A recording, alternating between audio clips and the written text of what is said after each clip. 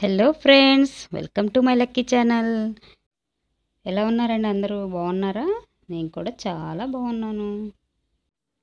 ఈరోజు మన రెసిపీ వచ్చేసి చికెన్ దమ్ బిర్యానీ అండి. అది కూడా ఏంటంటే రెగ్యులర్గా మనం ఒకటే టైప్లో చేసుకోవటం కన్నా కానీ కొంచెం డిఫరెంట్గా చేసి చూపిస్తున్నాను ఈరోజు నేను. చాలా బాగుంటుంది. ఇలా చేసి మనం అంటే రెగ్యులర్గా ఒకే రకంగా కాకుండా ఇలా కొంచెం డిఫరెంట్గా చేస్తే పిల్లలు కూడా చాలా ఇష్టంగా తింటూ ఉంటారు కదా ఎప్పుడూ రొటీన్గానే కాకుండా కదా. సో అందుకని కొంచెం డిఫరెంట్గా నేను చూపించాను. ఇప్పుడు ఆ రెసిపీ ఎలా చేసుకోవాలో మనం చూసేద్దామా? వీడియో చూసే ముందు మీరు నా వీడియోస్ని లైక్ చేయండి షేర్ చేయండి. అలాగే మన ఛానల్ని ఎవరైనా ఫస్ట్ టైం చూస్తున్నట్లయితే కనుక ప్లీజ్ ఇలాంటి మంచి మంచి రెసిపీస్ కోసం మన ఛానల్ని సబ్స్క్రైబ్ చేసుకోండి. అలాగే పక్కనే ఉన్న బెల్లును కూడా నొక్కారంటే నేను పెట్టే ప్రతి ఒక్క వీడియో కూడా మీకు వచ్చేస్తుంది. ఇప్పుడు రెసిపీ ఎలా చేయాలో చూద్దాం. ఇప్పుడు ముందుగా కర్రీ అనేది ప్రిపేర్ చేసుకుందాము. దానికోసం నేను ఒక హాఫ్ కేజీ చికెన్ తీసుకొని శుభ్రం తీసుకొని మూడు టేబుల్ స్పూన్ల వరకు ఆయిల్ వేసుకొని ఆయిల్ హీట్ అయిన తర్వాత పచ్చిమిర్చి అలాగే ఒక ఉల్లిపాయ కోసి చిన్న చిన్న ముక్కలుగా కట్ చేసేసుకొని వేసుకున్నానండి.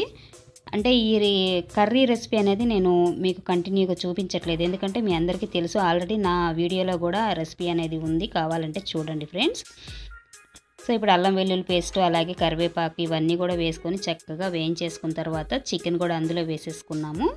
ఈ చికెన్ కూడా బాగా మగ్గేంత వరకు మూత పెట్టేసి ఒక పది పదిహేను నిమిషాల పాటు ఉంచేసేసుకోవాలి.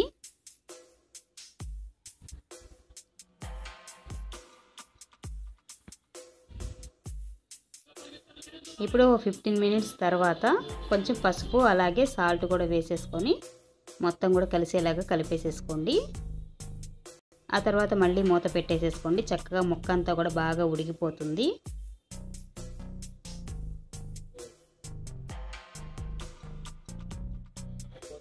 ఇప్పుడు ఒక టెన్ మినిట్స్ తర్వాత మూత తీసి చూశాను. చూసారా ఇట్లా ఉంది మనకి. ఎక్సెస్ వాటర్ అంతా కూడా బయటకు వచ్చేసి ముక్క కూడా చక్కగా ఉడుకుతుంది. చూసారు కదా మనకి ఇంకా ఎక్స్ట్రా వాటర్ కూడా దీనిలో పట్టవండి.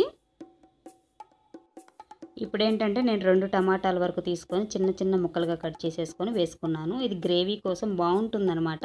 ఇలానా వేసుకోవచ్చు లేదంటే గ్రైండ్ చేసుకొని మెత్తగా పేస్ట్ లాగా చేసుకొని వేసుకున్న గ్రేవీ అనేది ఎక్కువగా వస్తుంది.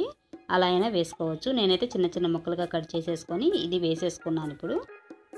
ఇప్పుడు చూసారా టమాటా కూడా చక్కగా ఉడికిపోయింది మనకి. ఇది మొత్తం కూడా మనకు మీడియం ఫ్లేమ్లో పెట్టుకొని చక్కగా ఉడికించుకుంటే చికెన్ అనేది చాలా బాగా ఉడుకుతుందండి. అంటే మీరు కారము మసాలా ఫ్లేవర్స్ ఇవన్నీ వేయలేదేంటి అని అనుకుంటున్నారా? అవన్నీ కూడా మనం లాస్ట్లో వేసుకుంటే స్పైసీగా బాగుంటుంది. ఇప్పుడు ముక్క కూడా ఉడికింది కదా మనం రెండు టేబుల్ స్పూన్ల వరకు కారం అనేది వేసుకున్నాను. మీరు స్పైసీ తినేదాన్ని బట్టి మీరు కారం అనేది యాడ్ చేసుకోండి. ఎక్కువ తినేవాళ్ళు అయితే ఇంకొక స్పూన్ వేసుకున్నా కానీ బాగానే ఉంటుంది.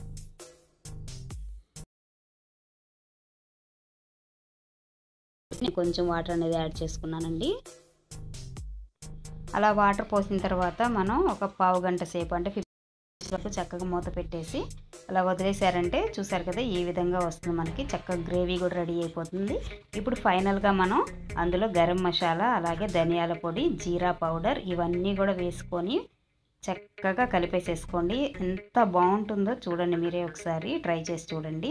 మీకు ఇంకా సాల్ట్ కనుక సరిపోకపోతే చూసుకొని యాడ్ చేసుకోండి. ఇప్పుడు కర్రీ అనేది రెడీ అయిపోయింది కదా. ఇప్పుడు మనం పరదా బిర్యానీ అనమాట దీని పేరేంటో మీకు చెప్పలేదు కదా. పరదా బిర్యానీ అనమాట ఆ పరదా అనేది రెడీ చేసుకోవడానికి ఇక్కడ మూడు టేబుల్ స్పూన్ల వరకు మైదా అనేది తీసుకున్నానండి నేను. అండ్ అలాగే కొంచెం సాల్ట్ కూడా వేసుకొని చక్కగా మనం చపాతీ పిండిలాగా కలుపుకోవాలి దీన్ని. ఇలా పిండిని కలిపేసేసుకొని మూత పెట్టేసి ఒక పది పదిహేను నిమిషాల వరకు నాననివ్వండి. మెత్తగా ఉంటుంది.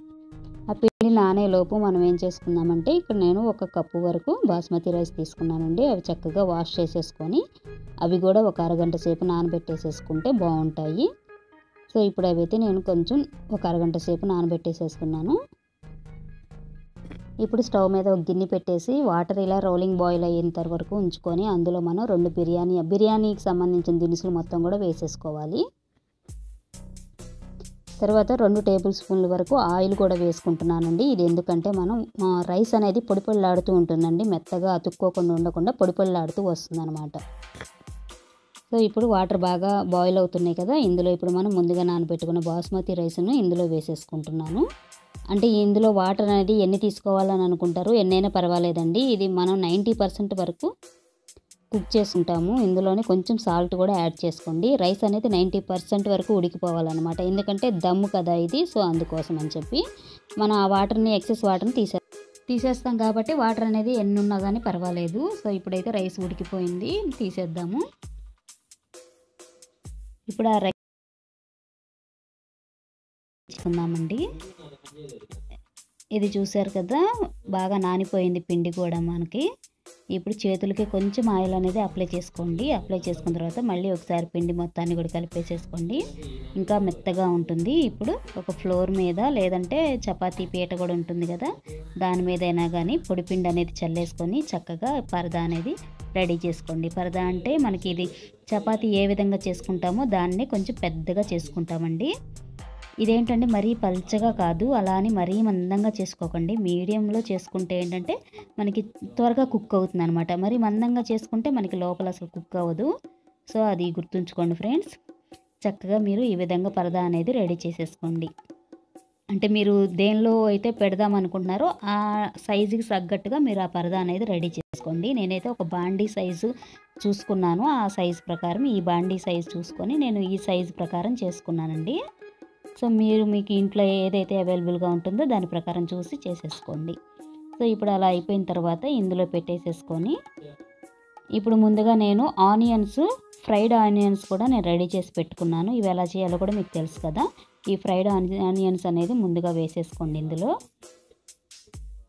తర్వాత కొంచెం కొత్తిమీర కూడా చిన్నగా కట్ చేసేసుకొని కొత్తిమీర కూడా అందులో వేసేసుకోవాలి. సో ఇప్పుడు వచ్చేసి రైస్ వేసేసుకోండి. లేయర్స్గా వేసుకోవాలి. ఇప్పుడు వచ్చేసి ఇది లేయర్స్గా వేసుకుంటే బాగుంటుంది. అండ్ అలాగే ఇప్పుడు మనం ముందుగా రెడీ చేసుకున్నాం కదా వండేసుకున్నాం కదా చికెన్ అనేది అది కూడా వేసేసుకొని దానిపైన మళ్ళీ కూడా రైస్తో కవర్ చేసేసుకోవాలి మొత్తం కూడా. సో ఈ విధంగా మొత్తం రైస్తో కవర్ చేసుకొని మళ్ళీ దీనిపైన ఫ్రైడ్ ఆనియన్స్ ఉన్నాయి కదా రిమైనింగ్ అవి కూడా వేసేసుకొని కొంచెం కొత్తిమీరతో గార్నిష్ చేసేసుకొని మీరు ఆ పరదా అనేది మొత్తం కూడా చక్కగా క్లోజ్ చేసేసుకోవాలన్నమాట. సో ఈ రెసిపీ మీకు ఎలా అనిపించిందండి? కొంచెం డిఫరెంట్గా ఉంది కదా చాలా బాగుంది కదా. నాకైతే చాలా చాలా బాగా నచ్చింది అనమాట మా అమ్మాయి కూడా చాలా చక్కగా తినేసింది.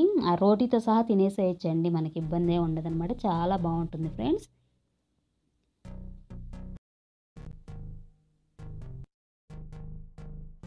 దీనిపైన ఏంటంటే మూత అనేది అసలు పెట్టకూడదు అది మాత్రం గుర్తుంచుకోండి. ఇప్పుడు ఈ స్టవ్ ఆన్ చేసి స్టవ్ మీద పెట్టేసుకొని ఇది సిమ్లో మాత్రమే పెట్టు లో ఫ్లేమ్లో మాత్రమే పెట్టుకోవాలి. ఒకవేళ కాదు హై ఫ్లేమ్లో తొందరగా ఉడికిపోవాలనుకుంటే కనుక తొందరగా మాడిపోయే ఛాన్సెస్ ఉన్నాయండి. చక్కగా లో ఫ్లేమ్లో పెట్టుకొని మీరు మాత్రమే దీన్ని ఉడికించుకుంటున్నాను. చూసారా కలర్ కూడా ఎంత చక్కగా వచ్చిందో. ఈ విధంగా వస్తుంది మనకి లో ఫ్లేమ్లో పెట్టుకొని కనుక మనం కుక్ చేసుకున్నామంటే. లేదు అంటే కనుక మైదా కదా మనకు తొందరగా కలర్ వచ్చేసి మాడిపోయే ఛాన్సెస్ ఉంటాయి ఫ్రెండ్స్. అందుకని మీరు సిమ్లో పెట్టుకొని మాత్రమే చక్కగా దీన్ని కుక్ చేసేసుకోండి. ఇప్పుడు మొత్తం నాకు రెడీ అయిపోయింది పరదా బిర్యానీ అనేది. ఒకసారి మీకు కట్ చేసి కూడా చూపిస్తాను లోపల ఎలా ఉందనేది కూడా. చూసారు కదా మీరు కూడా మీ ఇంట్లో తప్పకుండా ట్రై చేసి మీ పిల్లలకు ఒక మంచి డే అనేది ఇవ్వండి. వాళ్ళు కూడా చాలా హ్యాపీగా ఫీల్ అవుతారు ఫ్రెండ్స్. ఇలాంటి మంచి మంచి రెసిపీస్ ఇంకా different different types of recipes మన ఛానల్లో ఉన్నాయి. ఇంకా ఎవరైనా ఒకసారి చూడకపోతే కనుక తప్పకుండా మన ఛానల్ని ఒకసారి విజిట్ చేయండి. నచ్చితే కనుక ప్లీజ్ దయచేసి లైక్ చేయండి ఫ్రెండ్స్